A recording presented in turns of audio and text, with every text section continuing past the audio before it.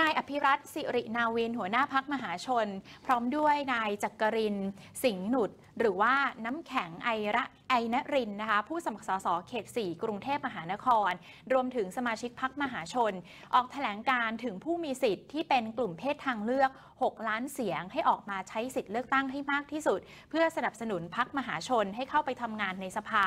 ตามวัตถุประสงค์ เจตนารมณ์ เพื่อให้เกิดความเท่าเทียมแห่งสิทธิในการรับและเข้าถึงบริการจากรัฐ และได้รับการปฏิบัติแห่งสิทธิและเสรีภาพของปวงชนชาวไทย ตามรัฐธรรมนูญอย่างเท่าเทียมกัน โดยไม่มีเส้นแบ่งเกี่ยวกับเพศ วิถีทางเพศ หรือว่าอัตลักษณ์ทางเพศค่ะ โดยที่ผ่านมานะคะ กลุ่มเพศทางเลือกในประเทศไทยที่มีอยู่เกือบ 6 ล้านเสียง เป็นอันดับทีสี่4 ในเอเชีย และเป็นกลุ่มที่สร้างการขับเคลื่อนทางเศรษฐกิจได้มากกว่า 6แสนล้านบาทนะคะ แต่ก็ยังพบว่ากลุ่มบุคคลเหล่านี้ยังไม่ได้รับสิทธิเท่าเทียมในฐานะเป็นพลเมืองไทย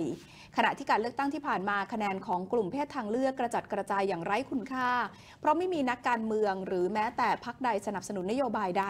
ที่เป็นประโยชน์กับกลุ่มเพศทางเลือกได้สำเร็จค่ะ ดังนั้นนะคะทาง ทางพักมหาชนจึงได้บอกว่าตอนนี้เหลือเพียงหนึ่งวันเท่านั้นนะคะ ก่อนที่จะเข้าคูหากา